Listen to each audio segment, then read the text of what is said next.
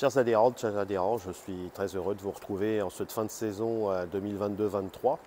pour vous faire un, bref bilan un petit peu de l'année euh, euh, Cosmos.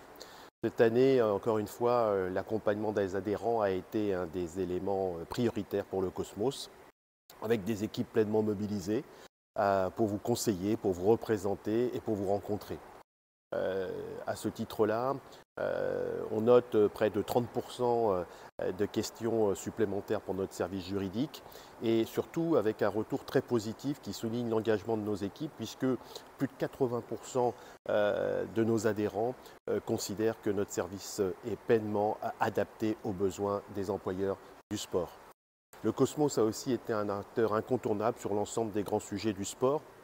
et sur tous les sujets qui ont compté politiquement. Nous avons euh, établi beaucoup de relations avec euh, euh, les différents cabinets ministériels et les ministres et nous avons contribué aux différents ateliers impulsion politique et coordination stratégique du ministère des Sports. Et puis aussi, à titre d'exemple, nous avons aussi participé de manière très active à la stratégie de l'écosystème sportif face à la crise énergétique qui s'est traduite par la mise en place du plan sobriété. Par ailleurs, euh, le réseau territorial a été aussi euh, porté par une dynamique euh, qui a visé à déployer le Cosmos sur l'ensemble du territoire, dans nos régions, dans nos départements. Euh, cette saison, nous avons pu, euh, après la pandémie, relancer la tournée des régions qui a connu un grand succès et qui désormais permet non seulement à notre délégué